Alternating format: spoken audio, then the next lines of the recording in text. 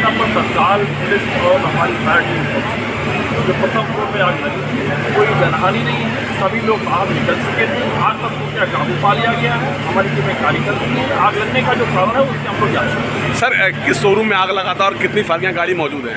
ये अभी हम लोग जाँच कर रहे हैं। जितनी भी गाड़ियाँ हैं यहाँ पर आप देख रहे हैं करीब एक दर्जन गाड़ियाँ यहाँ पर फायर आई हुई हैं। और इसके अलावा एक जो शोरूम है एडिडास का या इसके अलावा एक और शोरूम की बात आ रही है।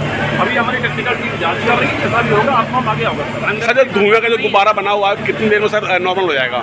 ये हमारी टीम में लगी हुई है जो धुएँ है जो स्वाम है उसको निकालने का काम कर रही है। फ़िलहाल ऐसी कोई स्थिति नहीं है वो स्थिति पूर्णतः नियंत्रण में है आग को पूर्णतः काबू पा लिया गया है सब कुछ आग लगने का कारण अभी तक पता चला मैंने बताया कि टीम जाँच कर रही है जल्दी आपको अवगत कराएँगे इस माल में आग लगने की सूचना है, क्या है पूरा मामला? कि जैसे इसमें सूचना मिली कि लाजिश माल में आग लग गई है सीएमओ ने मेरे पास फ़ोन किया था, तुरंत टीमें आ गई थी मैंने सीधे सभी S H A C P सभी लोग यहाँ आ गए थे, ताकि किसी तरह की किसी को कोई नुकसान न हो, और किसी भी व्यक्ति को किसी तरह का कोई नुकसान नहीं हुआ है, और आग जो लगी है, उनके कारणों का पता कर रहे हैं इस समय आग पूरी तरह बुझ चुकी है, इसका धुआँ निकाला जा रहा है।